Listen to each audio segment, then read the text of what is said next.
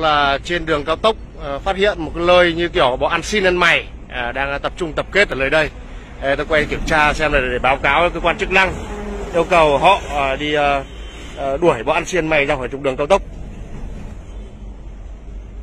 Ô, hình như không phải.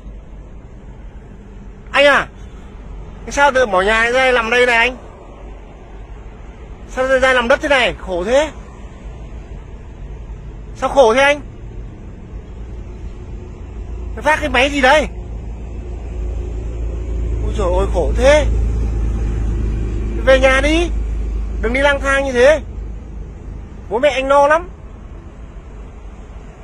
Anh nhường mặt em nhìn thế nào, Để em cho người nhà nhận người quen nào.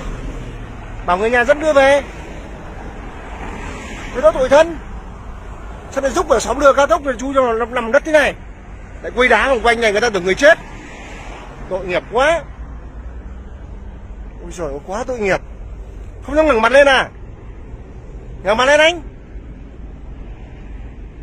Đây là tại à, nút giao đường à, cao tốc à, nội bài Lào Cai. Nơi có mấy thằng ăn xin lang thang à, cầu bơ cầu bất à, nhận